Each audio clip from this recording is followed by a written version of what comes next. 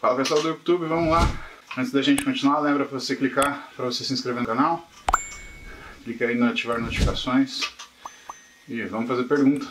Eu vejo que é muito confuso na cabeça de muitos profissionais, né? E aí, é o intervalo de, de, de repouso, né? O intervalo de repouso é aquele necessário para você conseguir realizar a série subsequente, né?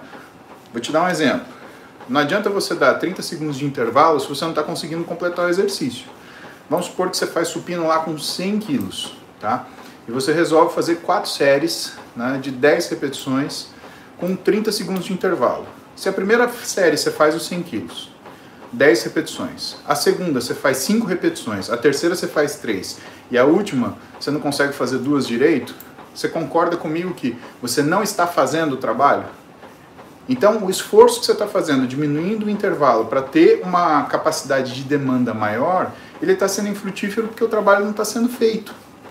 É que nem falar assim, ah, eu vou escrever 100 páginas por dia, vou usar um lápis. Aí o seu lápis acaba na, 50, na 50 página. E aí você fica passando lápis sem grafite nas outras 50 páginas. Você teve o esforço? Teve. Você produziu o trabalho? Não produziu o trabalho. Então eu vejo que muita gente tem essa dificuldade de, de correlacionar tempo de intervalo com treinamento. E por isso surge toda aquela conversa de treino fofo, que tem que dar descanso grande. Não tem que dar descanso grande, não tem que dar descanso curto. Você tem que saber qual é o estímulo que você quer. Se quer um estímulo de alto nível de lactato, de anaerobiose forte, então você tem que dar descansos que sejam suficientes apenas para aquele número de repetições programadas, que é o conceito de repetição máxima. Agora, você quer fazer o trabalho, você precisa realizar o trabalho todo, você tem que dar um tempo de intervalo que seja um tempo de intervalo que permita que o trabalho de alta intensidade seja feito. Então eu quero fazer lá, sei lá, é, o mesmo supino, mas eu quero fazer com 150 quilos. E aí? Quanto que eu vou dar de intervalo? Ué, não basta você colocar a carga, você tem que avaliar quantas repetições você vai fazer.